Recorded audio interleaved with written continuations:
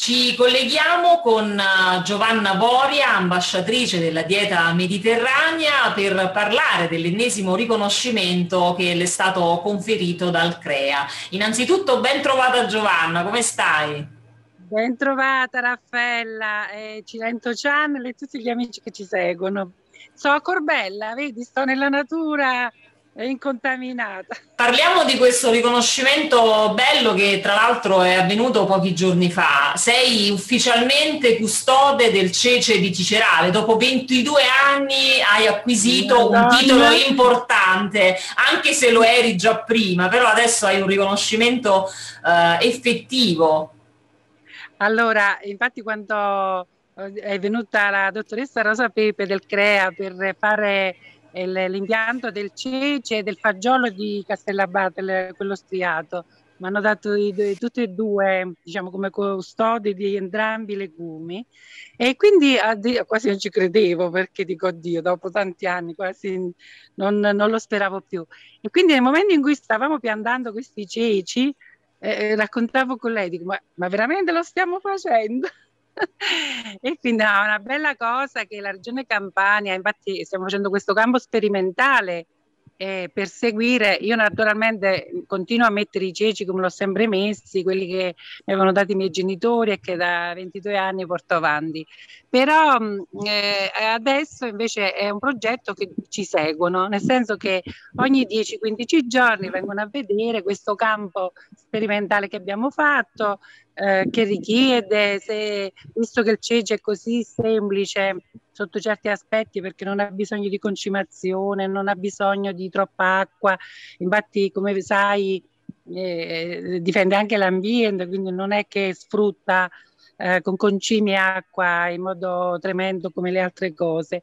E quindi ci seguiranno per tutta la racc- fino alla raccolta e faremo questa bella esperienza naturalmente, certo che sono felice infatti l'ho, l'ho, postato su Facebook e, ed è stato bello perché una marea di amici, di, di, gente che già mi conosce che sa quello che ho fatto per questo territorio è stato felice con me ed era giusto condividerlo con tutti voi. E, e tu e Gianni siete eh, quelli che mi avete sempre sostenuto e quindi con voi, eh, tu mi hai beccato tu, però eh, nel senso mi hai chiamato tu, però eh, ecco sono cose che a volte vorrei condividere veramente nell'intimo perché sono cose veramente belle le persone che hanno creduto in me eh, è, giusto che camminino a braccetto con me.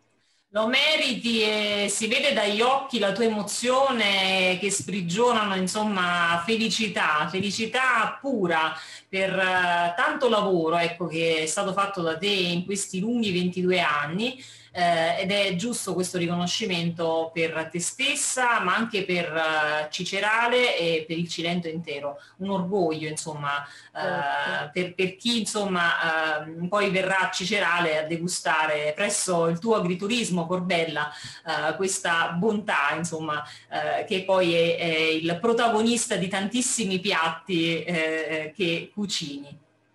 Giovanna, restiamo a Corbella, ehm, il sindaco Gerardo Antelmo qualche settimana fa, insomma, attraverso un'intervista ai nostri microfoni, ecco, ci ha dato una bella notizia eh, per quanto riguarda eh, la strada che porta appunto a questa bellissima valle, che poi è la porta del Parco Nazionale del Cilento, Vallo di Diano ed Alburni. Non sappiamo ancora quando eh, inizieranno i lavori, però ci ha dato eh, buone notizie eh, per quanto riguarda i finanziamenti che dovrebbero arrivare eh, per sistemare finalmente questa strada, che poi tra l'altro è una strada molto molto lunga. Allora, Raffaella, sì, quella comunale sono sui 6 chilometri più o meno. Poi c'è il pezzo che mi dovrebbe collegare alla diga che da 20 anni è, stato, è rimasto in quelle condizioni e dovrebbero riniziare i lavori. Naturalmente il sindaco poi se mi collega questo pezzetto è naturale che per me eh, eh, smetto di soffrire perché veramente per, per, tutti questi anni ho sofferto in maniera eh, tremenda perché adesso piove e ci sono le, le, le pozzanghere, chi ha paura che rompe la, la, la coppa chi la ruota, chi... quindi diciamo che sono stata penalizzata esageratamente. Il sindaco eh, mi ha, mi ha, dato buone speranze, naturalmente ci vogliono un paio d'anni, ma sono passati 22 anni, passeranno pure due anni e quindi lo spero. Io onestamente fino a che non vedo la strada non ci credo, però eh, essendo un amico Gerardo eh, mi, mi, mi, voglio fidare, eh, anzi mi fido di lui e spero che veramente questa valle finalmente può essere di accesso alle persone che amano la natura e che amano la cucina della dieta mediterranea che io da sempre faccio. Quindi ecco. poi, poi speriamo Chiss- che arriverà. Chissà che dopo questo bel riconoscimento insomma, di custode del cece di Cicerale non possa arrivare un altro riconoscimento in termini di viabilità per questo territorio e quindi ripristinare appunto questa importante strada eh, che eh, porta in questa valle bellissima dove poi c'è il tuo agriturismo. Eh, un agriturismo è un lavoro, quello di Giovanna Voria, che è stato attenzionato da tanti, eh, eh, anche eh, per quanto riguarda le emittenti televisive, non solo locali ma anche nazionali e tra l'altro infatti in questi giorni eh, insomma, abbiamo saputo che c'è eh, l'attenzione di Geo che sta proprio girando un documentario lì eh, da te Giovanna. Sì, abbiamo fatto la prima ripresa della semina eh, giovedì scorso e loro era quasi un anno che volevano fare questo documentario, però naturalmente un po' il covid, un po' la stagione, cose varie, quindi eh, hanno dovuto aspettare, quindi veramente sono stati pazienti. Abbiamo iniziato con eh, la semina, adesso verranno quando inizieremo a zappettare, quindi quando si toglierà l'erba, proprio come il rito antico di una volta, e poi verranno quando faremo la raccolta.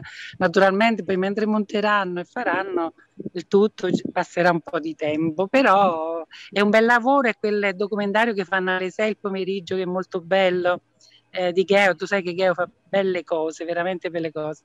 Con lui, con loro abbiamo fatto già almeno una decina di, di cose interessanti tra um, questi poi oltre alle, alle, ricette o agli interventi normali abbiamo fatto di padre in figlio una bella storia sempre legata al cece che diciamo passato mio padre mi, eh, i miei genitori hanno passato l'eredità a me di questo famoso cece e poi abbiamo fatto di mh, tre grotte e tre fiumi quindi Castelcivita, Pertosa e Morigerati.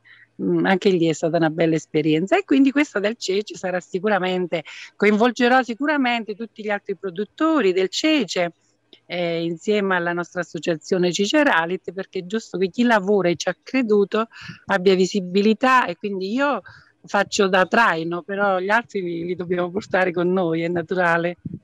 Infatti sei stata sempre ecco, il punto di forza del tuo territorio perché come abbiamo detto anche in apertura ci hai sempre creduto, continui a crederci nonostante le difficoltà soprattutto del momento.